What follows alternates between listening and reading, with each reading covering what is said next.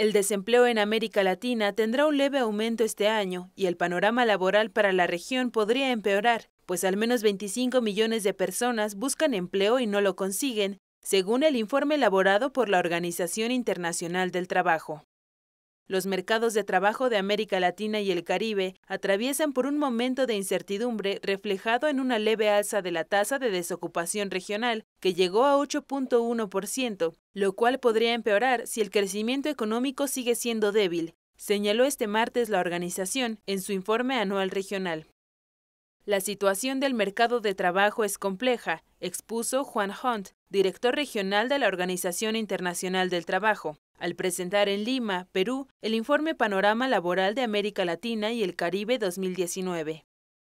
La tasa de desocupación regional promedio estimada para el cierre de 2019 es de 8.1%, una décima porcentual por encima del 8.0 de 2018.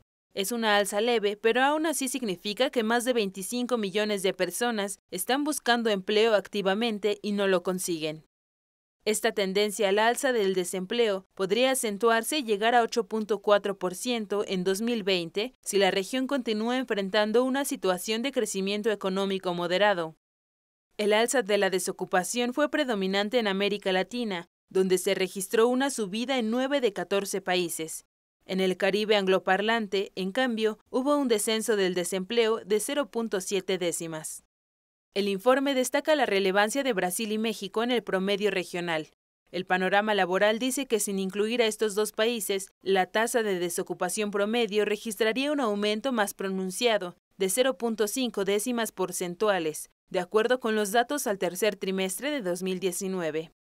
Al referirse al papel de la mujer en el sector laboral, se insiste en que pese al aumento de su participación, que llegó a 50.9% al tercer trimestre de 2019, esta sigue estando más de 20 puntos porcentuales por debajo de la de los hombres, que es de 74.3%. Los datos disponibles para 2019 indican que la desocupación femenina subió 0.2 décimas porcentuales en el promedio regional, a 10.2, mientras que la de los hombres se mantuvo sin cambios en 7.3.